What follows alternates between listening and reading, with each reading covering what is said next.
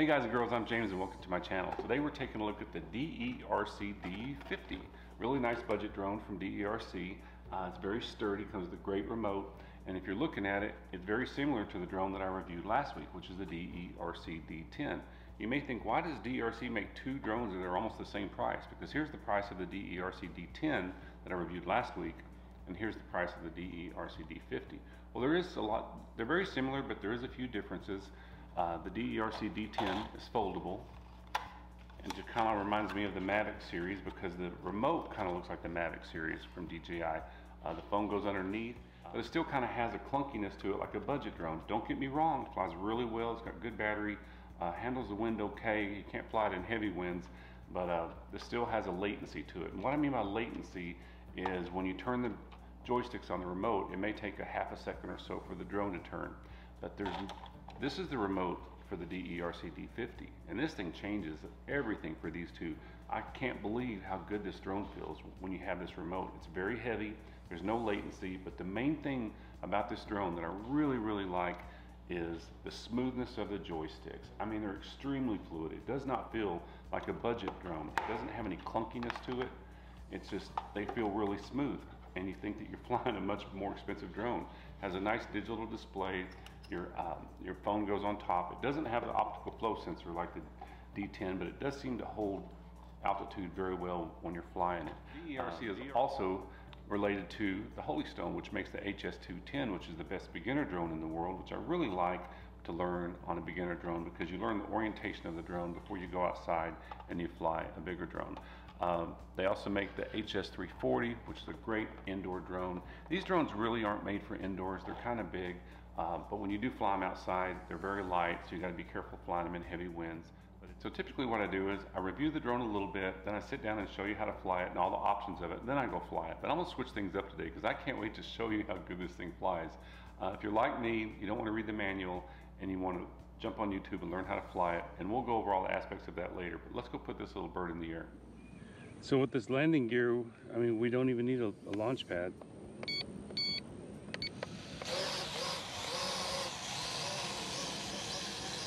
All right, so guys, this is not a GPS drone.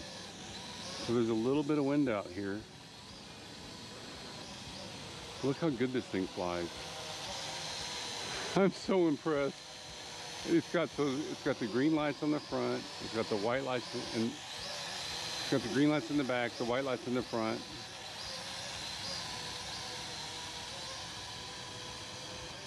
Guys, this thing's $70.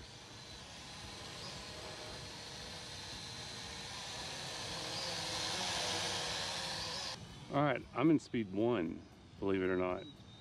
So this is the slowest speed. All right, so let's try it on the app. Speed two, speed three. Let's see if that changes it. See, it's kind of like the A10. I don't think it really changes it. I think you have to do it with the remote, even though it's doing really, really good. So on the back side of this one is the speed one. So two, three beads.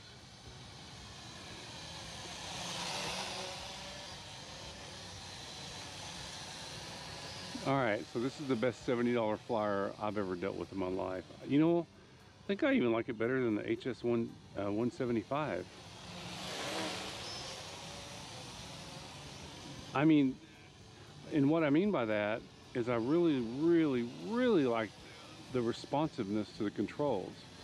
So as I'm pushing forward, it just kind of does what I want it to. So it just seems to be really responsive, wants to do everything I wanted to do. I mean, a little bit of wind. Not a GPS drone. This thing's $70. Look at all those lights. Okay, all right. I'm gonna send her out. Let's see how she does. All right.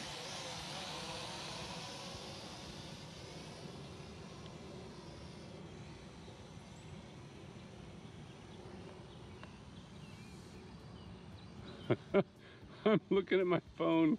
Almost crashed it into a tree. Oh my, what a dork. All right. My phone's down to 20% battery. All right. Let me send it out there where there's no trees.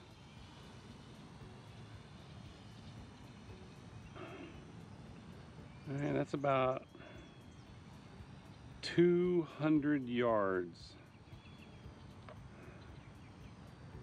I'm gonna send it straight up. My goodness. Really?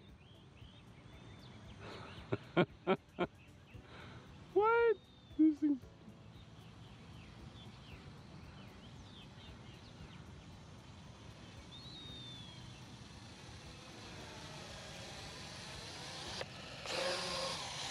All right, so I kind of want to do an over the water thing, but I want to make sure that, so it doesn't tell you how charged up the battery is or anything. So I'm gonna land it. Oh my gosh, this thing flies. I mean, look, look at the responsiveness of the controls. I mean, they're just really spot on. There's no waviness to it. Up, down, left, right. The only thing I don't have is I don't know how long, I mean, I don't have a battery life. So I kind of want to like just, I really want to do a punch across this pond. All right, I may lose the drone.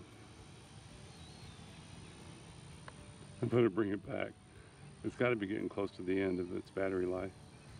It could go fishing. Look at this. Woo! My goodness.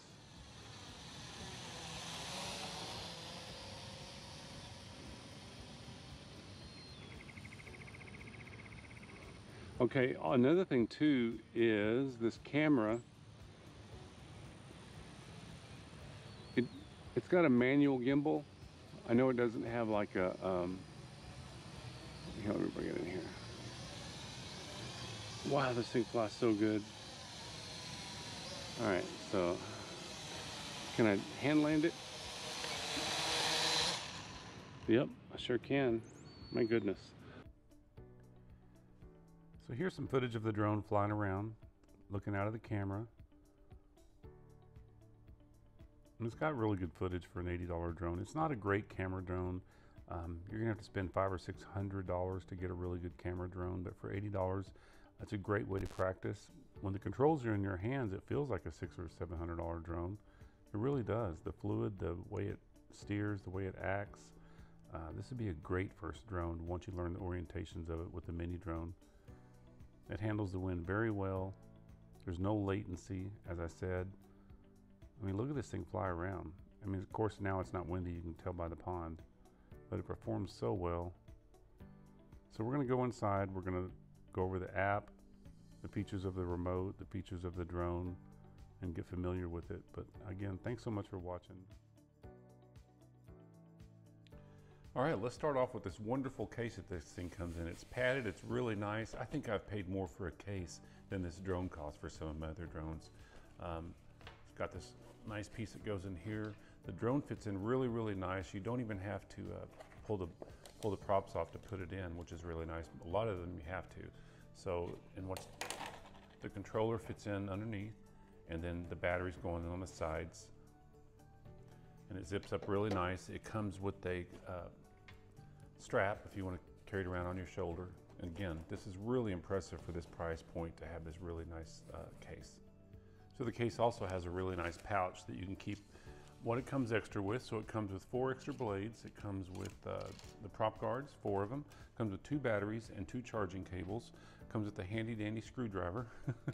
um, and it comes, and it, you can either fly it with or without the, bra the bottom braces. Um, it, will fly really close to the ground, so you would have to use a launch pad if you wanted to. Because if you look at the A10, it kind of has these extensions off the motor, so it kind of sits off the ground a little bit, where this would sit all the way down.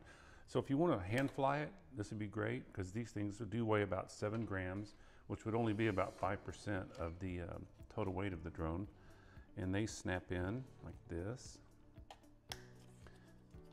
Very simple. And to unsnap them, you got to push down on this and pull out. Um, so the battery pops in right here. It's really nice. This is your antenna.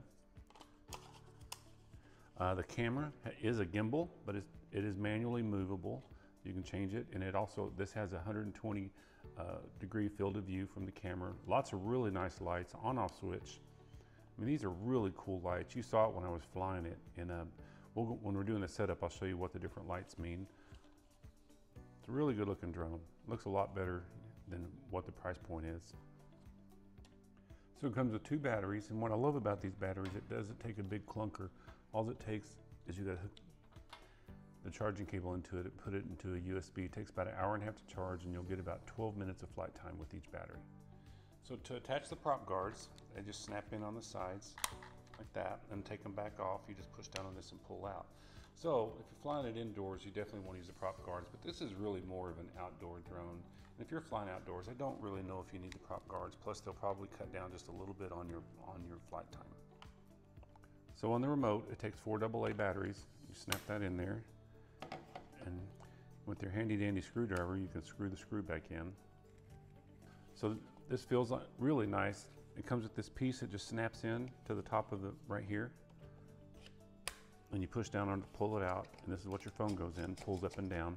So on your controller, you turn it on right, right here. Here's your takeoff button, but on the back side is where the trim and the speed and the headless mode is. So right here is your trim buttons. So in other words, if the drone seems to be floating to the left or to the right, uh, what you do is you, while you're flying it, you hold down on one of these buttons and it'll self-correct itself. It takes a little bit of practice to get used to these trim buttons, but you'll understand those once you get to flying it. This is your speed button. If it's windy outside, I suggest to go to speed three right away. So it's one, then you'll hear two beeps and then three beeps. And this is headless mode. Um, you, will hear two dot dots and that means it's going into headless mode. And what that does, that changes the orientation of the drone to no matter what you're doing with the controls, it'll fly in that direction. But I say don't use that. This is a beginner drone. You're wanting to learn how to use the orientation of the drones anyway. So in other words, again, if it's sideways and you push forward on this, it's just gonna go the direction you want it to. So when you turn the drone on, you have to go up and down. That way you can control the speed switch also when you know it's connected. Um, so your speed switch is in the back. So you'll see when you push it, 75, 100, 25. Let me show you something. So if you turn it off, you turn it back on, and you're pushing the speed switch and it's not doing anything, it's because it's not connected. You've got to go up and down, and then you know it's connected uh, when it's changing the speed. So with the drone turned on, one of the most important things you want to do is you want to go to your settings, and you want to go to your Wi-Fi, and you see Deer RC, touch that, and now you know it's connected. Then you can open up the app. So when you open up the app and you'll get it from your QR code and the instructions and you hit start, then you can see how the drone is connected by the camera. Works really well. I'm gonna tell you something that's gonna surprise you. Don't use the app to control the drone. Use the controller. The only thing you may wanna use on here, because if you try to hit the speed switch, sometimes it doesn't change, use the speed switch on the app. Um, you can go back and look at your videos from it, but to start recording in video sometimes, just use the controller. Just use this app so you can use the um, camera to see where you're going. So thanks so much for watching my review of the DEERC DE50. If you got anything out of this, please like and subscribe. Subscribers mean everything to me on this channel. And when you subscribe, please, please leave a comment. If you buy one of these, let me know if you like this controller as much as I do. And if you feel that yours is as fluid. If you have any problems with it, I mean, leave a comment. I promise we'll review that also. So, uh, so thanks so much for watching, and I'll see you in the next one.